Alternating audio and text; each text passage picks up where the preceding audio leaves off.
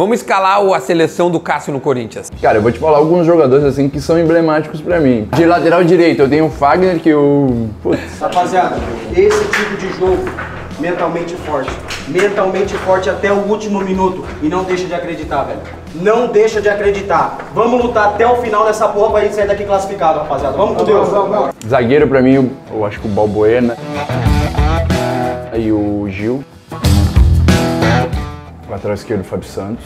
Que voltou muito de novo, né, importante, tia? muito Porra. importante. Eu acho que o Fábio é um cara que entra no mesmo critério do Gil, assim, sabe? Um cara que agrega muito dentro e fora de campo, jogos decisivos, o cara sempre dá Ele uma cresce, resposta nos né? momentos mais decisivos ou muitas vezes quando questionam ele, ele é um cara que, Cara, impressionante. que velho. aparece muito bem, assim, sabe?